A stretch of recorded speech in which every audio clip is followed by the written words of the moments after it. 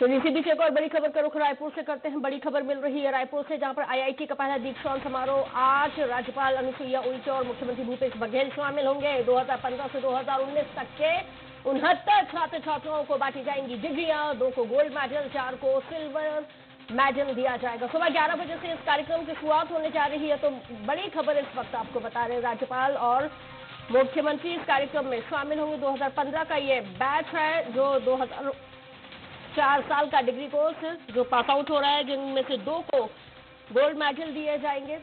11 बजे इस कार्यक्रम की शुरुआत होगी।